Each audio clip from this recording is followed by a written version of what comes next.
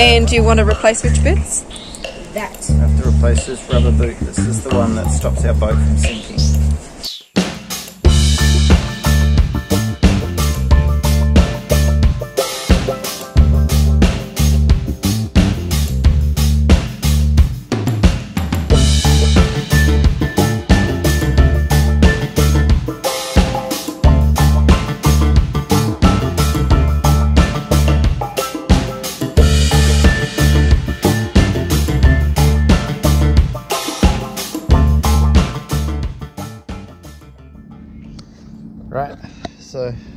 Got the sail drive out of the um, the boat, 16th of November 2000. So that would actually make this rubber boot 21 years old, if that was when it was replaced. And if that is the case, it, it's had a pretty bloody good run.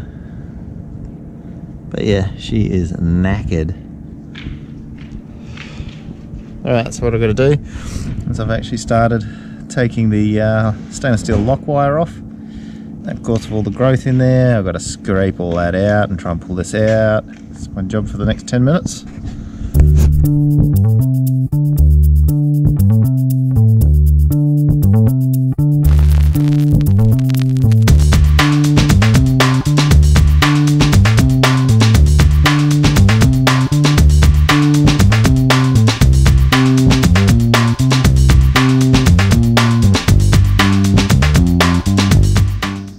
Taken out all the bolts that hold the sail drive unit to the gearbox and this is what we're looking at. Just got to be careful. I just noticed there's a bunch of little shims in here that got stuck to the face here when I pulled it apart and it landed down here. So I guess you got to be careful when you're pulling it apart you don't lose those. Right, oh, look. Oh, oh. Can't quite see, but that is going to get a clean. There is all sorts of growth down in there. So this is the main water pickup into the sail drive unit. You can see that there's quite a bit of growth in there as well. This is the gasket that'll need to be replaced. Everything else is looking pretty good. So now I've got to take this adapter plate here off and then the rubber boot will come off.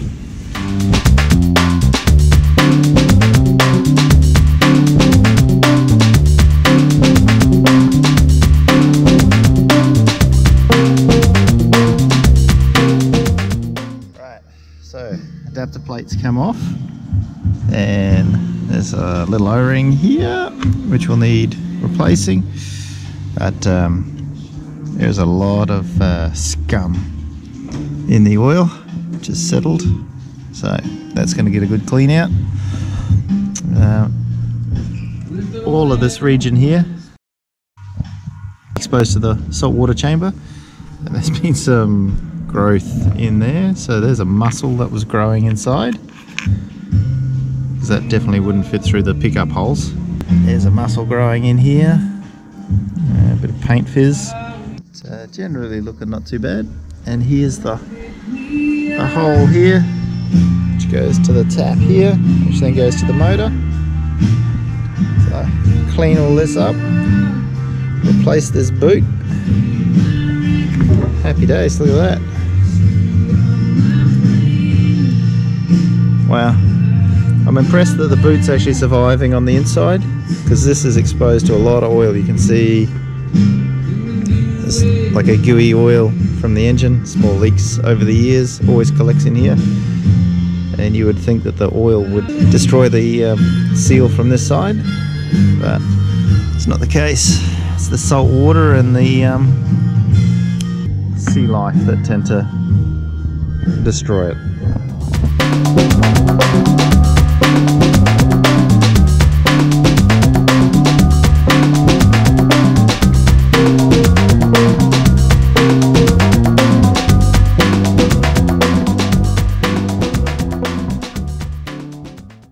So inside the sail drive pocket here, you'll see there was um, a heap of anti-foul and um, inside the pocket because the previous owner didn't actually have any uh, covers over the hole. So this is a great big gaping hole um, which was not ideal for speed or anything because all sorts of critters grew up in there and you couldn't clean it out and it was just it was a shocker um, so made the new covers to go over the hole to uh, and rubber boots and all the rest. But you can see I've sanded this out. Um, so I'm going to epoxy prime all the inside of here um, do a little bit of filling and fairing and make my sort of rangy bits of potting my cover in look a bit nicer. Uh, but most importantly I'll get a layer of epoxy over this polyester glass inside the sail drive pocket sorted out uh, and I'm about to go inside clean that thing and the mating surface where the rubber boot goes in here.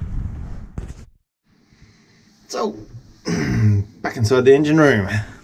So, you can see a great big hole from the inside where I've sanded it nicely, ready for paint. What I've got to do now is clean out the bolt holes, remove this stud from the previous owner clean up all my bolts, make them all look nice. Try and sort out an engine mount. Um, because both engine mounts are nicely broken. They're good. Here's my weapons for cleaning. Um, probably not the most environmentally friendly option, brake clean, but certainly the most effective and the most rapid for doing this particular job.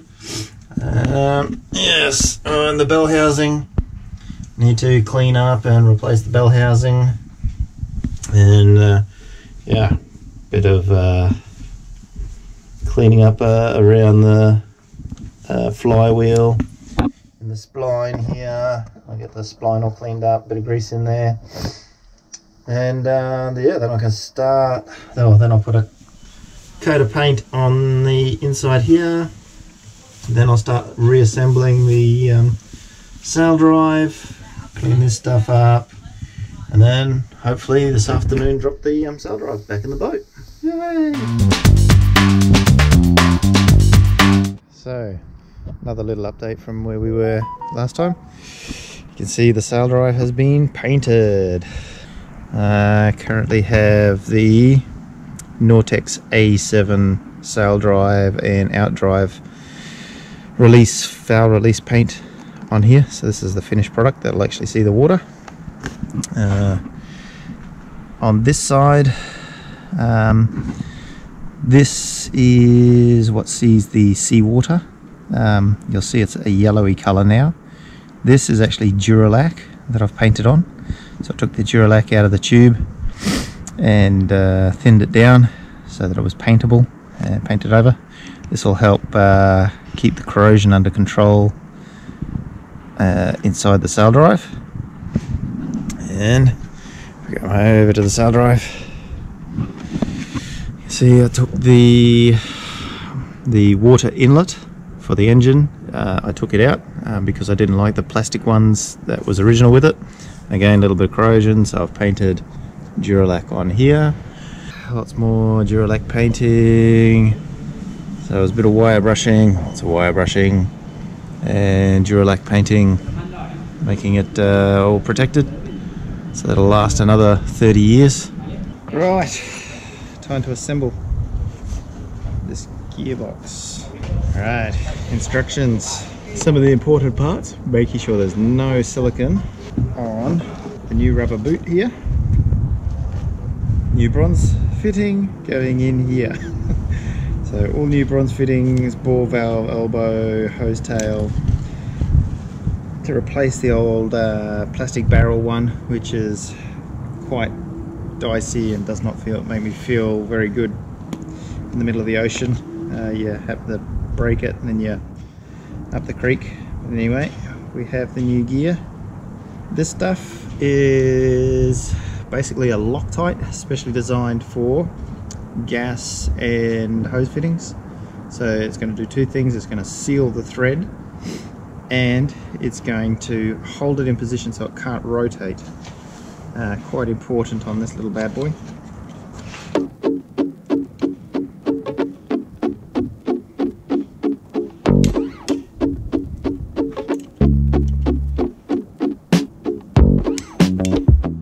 Big rubber boot seals the seawater from getting from this chamber out and then there's the O-ring which seals the inside. Nice. Well done Volvo. And this bad boy here goes on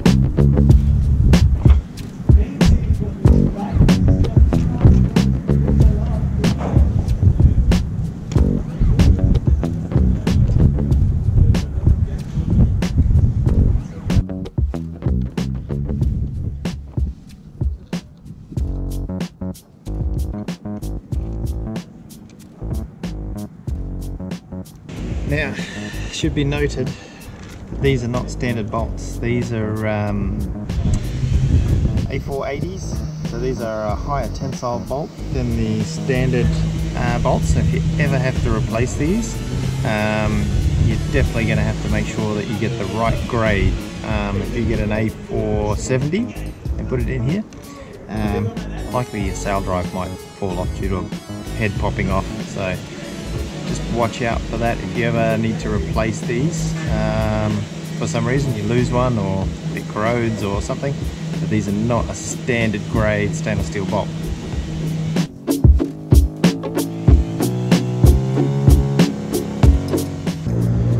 Now because these ones are lock wired definitely not going to bother with um, Loctite on them because they'll never come undone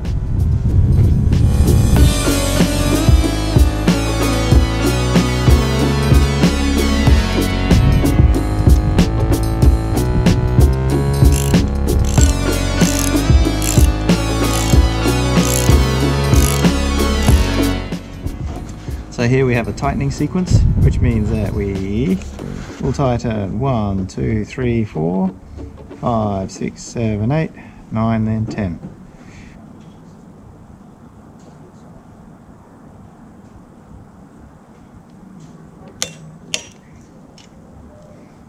For those of you who are wondering what I'm doing, using this torque wrench to get the correct tension into the bolt. This torque wrench has a spring in it with a uh, funny looking little wedge and knuckle. And once a certain uh, tension is reached, this arm here rocks over on an arm here and it goes click clack. You watch me tighten it up, let's see and hear click clack, click clack. That tells me my bolt is at the correct torque. Now I'll come back and check all the ones that I originally did. Beautiful. Right, that's that all torqued up. Now I get to get the lock wire from this screw to this screw so it cannot physically unwind itself.